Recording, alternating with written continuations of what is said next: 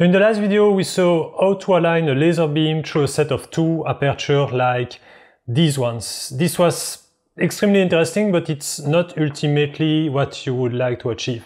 What you want to do is to get your laser beam passed through the center of either a microscopy objective like this one or through a lens. And that's exactly what we will see in this video and we will also see that it's bringing a lot of interesting questions like why does some lens have a center and some do not? Let's take a simple ball lens. It's just a perfect sphere of transparent material like glass. If we send our laser beam through the lens, we see that it experiences refraction. We see that the beam direction clearly changes when the beam enters and exits the lens. We can do the same for any incoming rays, whatever its orientation, but there is one very particular type of ray where the beam does not change as the ray passes through the lens. It's just like there was no lens at all. We can check this here by removing the ball lens and seeing that the ray is not affected by the presence of the lens.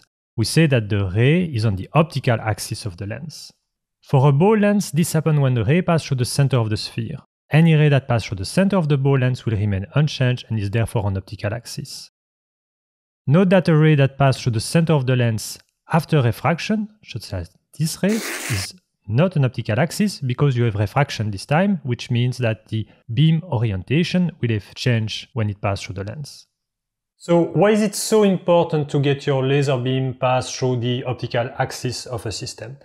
As we said, it's the only ray that will not experience refraction. And no refraction, that means no aberration. And it's therefore extremely important to get your laser beam as close as possible to the optical axis of the system, just to minimize the amount of aberration and to get better overall image quality. That being said, ball lenses are quite unusual objects, and most lenses are actually made of two different radius of curvature. Spherical lenses are actually made by grinding spherical surface on a glass cylinder called the blank. You can see a lens as the intersection of two spheres such as shown here. Just like for the ball lens, the optical axis is defined as the ray that experiences no refraction as it passes through the lens. Here it's not a ray that passes through the center of curvature of both surfaces and unlike the ball sphere, there is only one optical axis this time. Planospherical lens, that means lenses that are made of one spherical surface and one planar surface, are just an extension of the regular case. You can see a planar surface as a sphere with an infinite radius of curvature. Its center is therefore located at infinity. The consequence is that the optical axis of a planospherical lens is the ray that passes through the center of curvature of the spherical part and that is perpendicular to the plane side. At this point, some of you probably already found the trick to align the lens with the laser beam, and that's what I'm going to discuss now. We see the optical axis of the lens here. Now observe that the lens edge forms a cylinder whose axis is the same as the optical axis. We call this the mechanical axis of the lens. So it might be tempting to use the mechanical axis of a lens to align the lens with the laser beam. And that's precisely the, the reason I like so much to use cage system like this one, because typically I could first align my laser beam through the two aperture, then remove one of the aperture and put the lens instead, and the beam will go through the center of the lens. Be aware, however, that although this works for most experimental systems, when you are looking for precision, it's not going to be enough. Here I've shown a cage system with two apertures and a glass lens. We assume that the optical axis of the lens will match the line defined by the two apertures because all elements are cylinder mounted on the same cage system. But multiple things can go wrong here. First, you have no guarantee that the apertures are actually centered in their mount.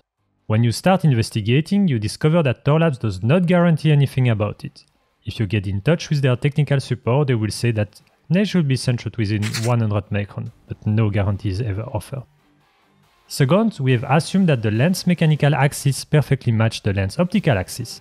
This is actually never exactly the case and I will show you why. When the lens is manufactured, it needs to be repositioned between the grinding of the front and the grinding of the back surface and of the edge.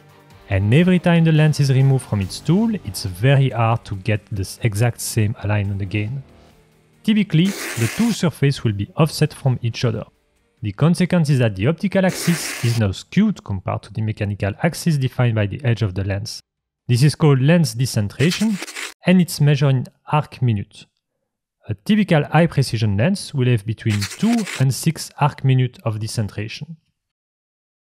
So holding the lens by its edge is probably one of the worst things you can do in optomechanical design engineering. And typically you should never use this cage system of Thorlabs that just take the, the lens by their edge because you won't get satisfactory results. It's already much better to use pre-mounted lens or if you can afford it to make your own optical mounts with tolerance fits so that you are sure that the different mechanical axes will perfectly align when you do a lens uh, assembly. And typically with custom mount you can achieve decentration on the order of 50 micrometer or a few arc minutes of decentration.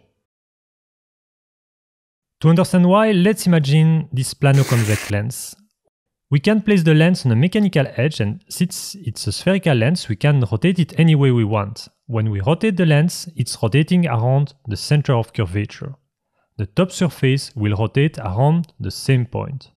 If we now apply a force on the top surface along a circular edge, we can force the lens to rotate until the optical axis aligns itself with the mechanical axis defined by the two edges.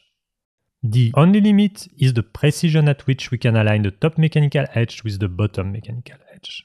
And if it's not enough, some companies will even propose to do diamond turning on already mounted lens such that the mechanical axis is almost exactly equal to the uh, optical axis. And I've used this technique in the past. You can achieve um, very tight tolerance down to the micrometer level for the decentration and it's typically required for extremely high precision optics.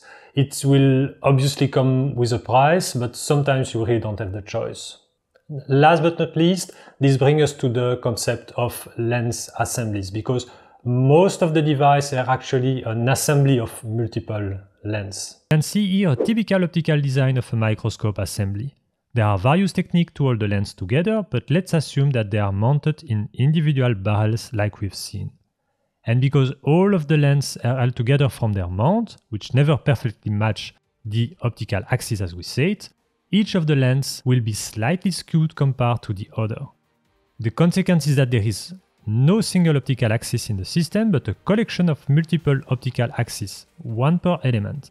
There are then no rays that will never experience refraction, and there will always be aberration in the system. And because of the mechanical tolerance, each time you will assemble your system, you will get a very slightly different layout of optical axis and different amount and type of aberration. That means you will never get two systems to behave exactly the same and each will have its own image quality. Usually the more decentration, the worse image quality that you will get. And there are two things you can do about this. It's either you can use higher precision mounting for the lens to reduce the decentration of individual components, or you can go for an optical design that's less subject to decentration effect, but that usually means that you will need more lens into the system and so that your system will be more expensive uh, anyway at the end. So what's the takeaway of all this? Well, first, it's an excellent thing to use cage system and it's really an improvement over just putting the elements at random place on your optical breadboard and trying to get your signal pass through. Also, we saw that it's better to use pre-mounted lens or to make custom mounts and that using these kind of, uh, of mounts that hold the lens by the edge is one of the worst things that you can do, so you should really avoid that. Also, we saw that when it's about lens assemblies, you really need to take into account the concept of decentration, but that's going really uh, way beyond the scope of this video as it's going into the, the topic of uh, tolerance analysis in optical design that we will show one day later when I have time. I hope that you enjoyed the video and learned some valuable stuff about decentration process and optical axis in a lens system. And if you like the video, don't forget to subscribe, have a look at our Patreon page, and already a big thanks to all of the Patreon members who are supporting the channel right now and are making this possible. So see you next month.